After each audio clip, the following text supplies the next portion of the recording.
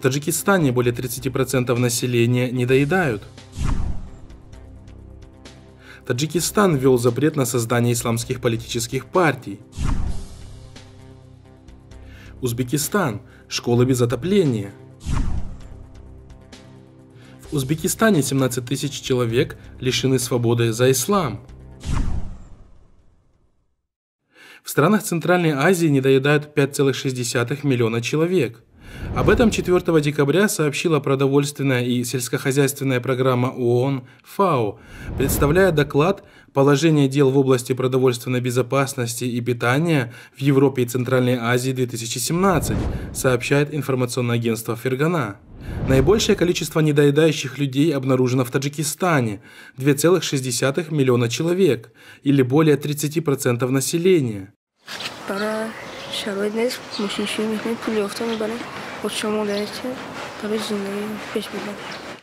В Узбекистане недоедают 1,9 миллиона человек, 6,3%.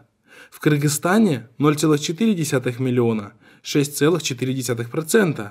В Туркменистане 0,3 миллиона, 5,5%. В настоящее время ситуация в регионе остается тяжелой, показатели практически не меняются. За последние 10 лет ситуация ухудшилась в Туркменистане. Если в 2005 году к недоедающим относились 4,6% населения, то в 2016 – 5,5%. Следует заметить, что катастрофическая гуманитарная ситуация в регионе не мешает азиатским тиранам тратить огромное количество денег ради своего личного престижа и удовольствия. Так, например, в 2017 году для проведения игр Азиады в Ашхабаде президент Туркменистана Берды Мухаммедов построил целый городок, потратив более 8 миллиардов долларов – Birleşmiş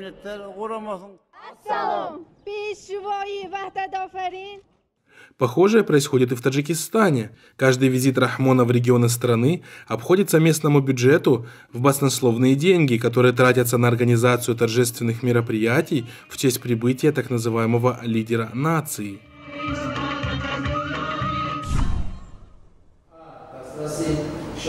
Нижняя палата таджикского парламента Маджлиси Намояндагон внесла поправки в закон о свободе совести и религиозных объединениях РТ и официально запретила создание в стране религиозных партий. Согласно поправкам, религиозное образование в Таджикистане можно получить только в государственных учебных заведениях, сообщил радио Зади депутат парламента Джаббор Ахмадов 6 декабря. Еще одна поправка в закон о свободе совести и религиозных объединениях РТ предусматривает доминирующую роль государства в формировании религиозной политики в стране. Уже несколько лет назад государство взяло в свои руки функции управления религиозной сферой. В настоящее время Совет улемов Таджикистана полностью контролируется государством. В течение последних нескольких лет режим Рахмона методично создает для народа Таджикистана новые и новые препятствия в соблюдении ислама, вводя абсурдные законы под предлогом борьбы с экстремизмом и терроризмом. Так, власти приняли решение об определении госорганами тем пятничных проповедей и об аттестации имам хатыба в мечети, а всем госслужащим запретили посещать пятничные молитвы. Кроме того, в мечетях страны установлены камеры наблюдения. Лица моложе 40 лет не имеют права совершать хадж. Женщинам запрещено ношение мусульманских платков, а мужчинам моложе 50 лет запрещено носить бороду.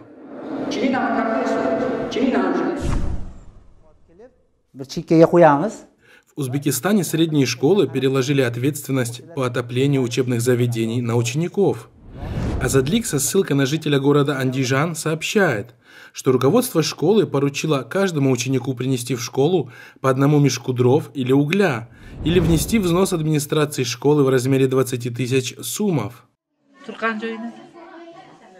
Причем не выполнивших данное требование учеников учителя стыдят перед всем классом, оказывая на них психологическое давление. Местные жители сообщили журналистам, что ежемесячно каждый ученик должен приносить в школу по одному мешку дров или угля. Руководство школы говорит нам, если не сможете принести уголь или дрова, то сдайте деньги.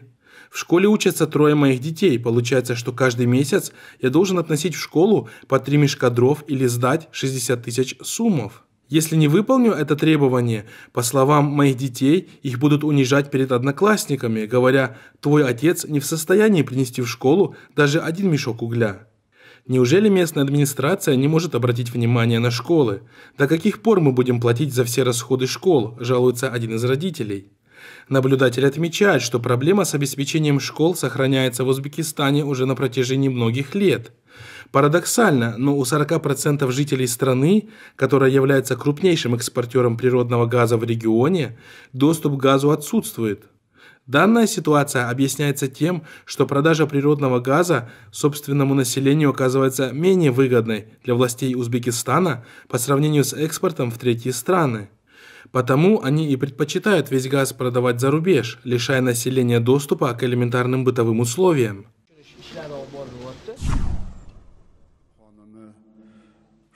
Президент Узбекистана Шавкат Мирзияев, выступая на днях на церемонии вручения государственных наград, заявил о том, что на сегодняшний день общее количество отбывающих наказания в узбекских тюрьмах достигает 57 тысяч человек.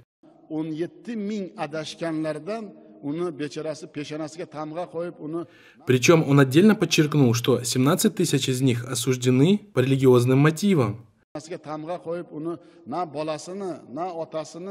Также Мирзияев в своем выступлении косвенно признал, что очень многие лишены свободы в Узбекистане по сфабрикованным делам. Напомним, что Узбекистан является одной из лидирующих стран в мире по числу лишенных свободы по религиозным мотивам.